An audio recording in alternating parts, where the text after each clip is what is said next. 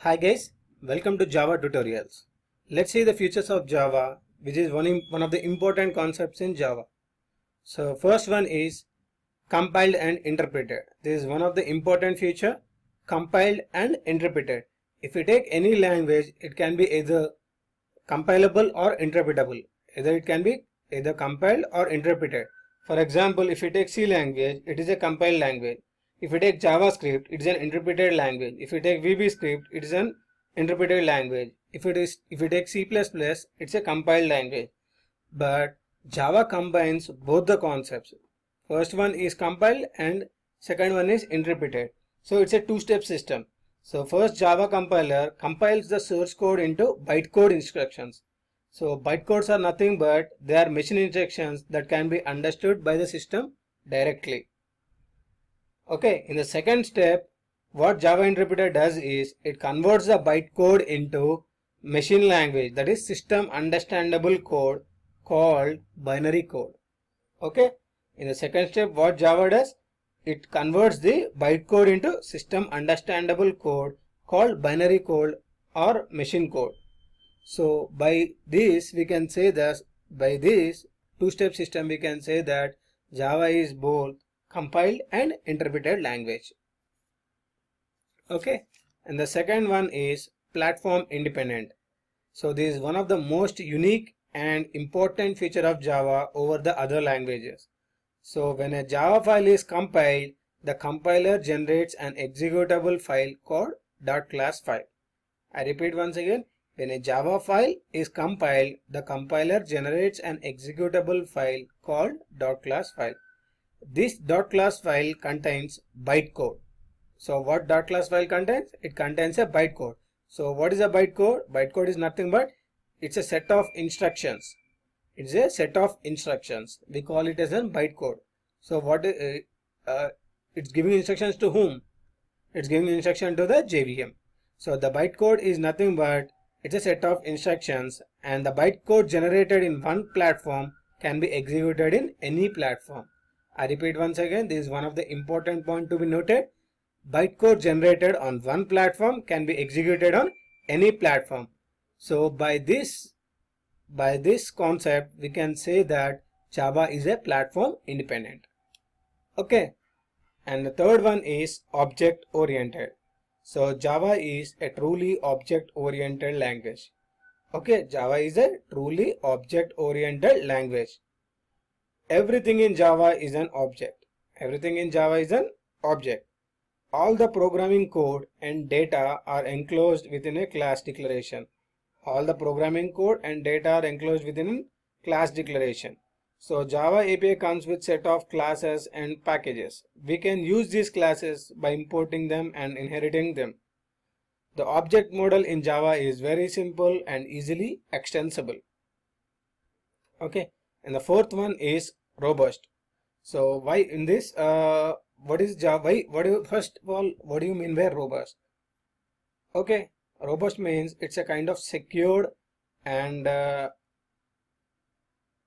it's a we can we can say robust as in secure and reliable okay so java is a robust language why java is a robust language because memory is implicitly managed here so memory is implicitly managed if we take c++ or c we need to use malloc and calloc to free the memory uh, for the allocation of the memory and deallocation of the memory use malloc calloc all those functions but if we take Java, we have an inbuilt memory management system which is called as a garbage collection.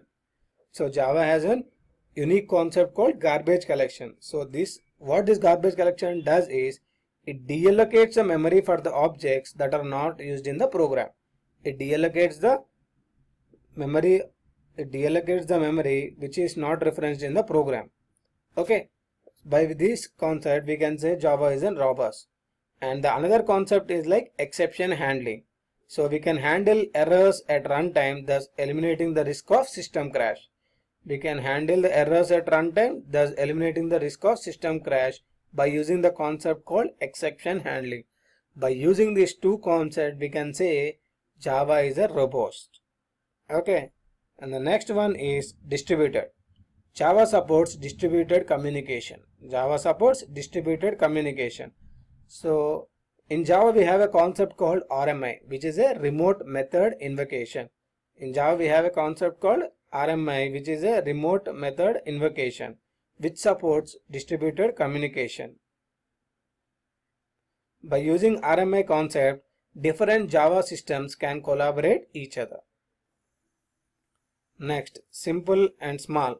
Java is a simple language to practice. Java is a simple language to practice and many features of C and C++ that are not required for that are not required or deleted in Java.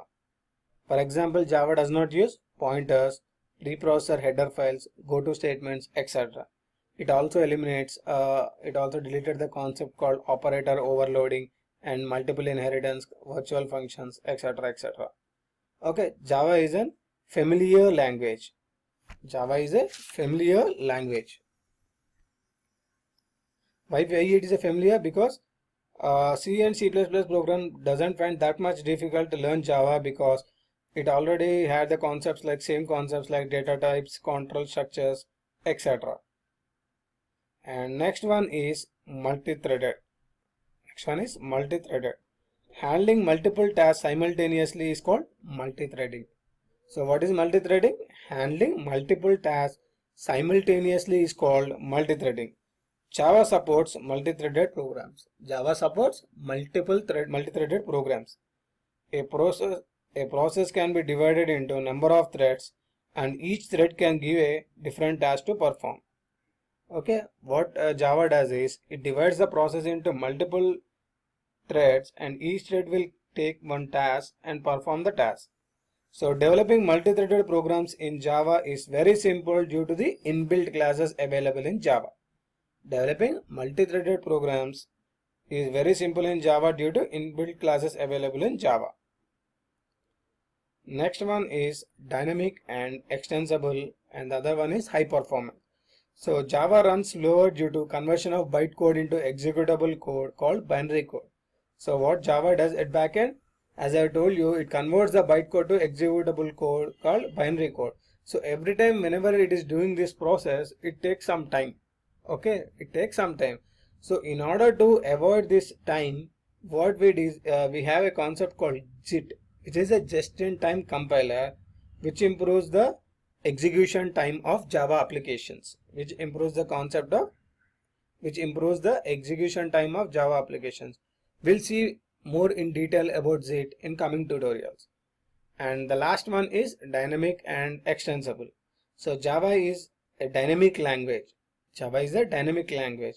At runtime, it can link with standard libraries, classes, objects, and methods. At runtime, it can link with standard libraries, classes, objects, and methods. So these are all the important features of Java. Hope you guys understand this video. Thanks for watching my video. If you like my video, don't forget to subscribe to my video.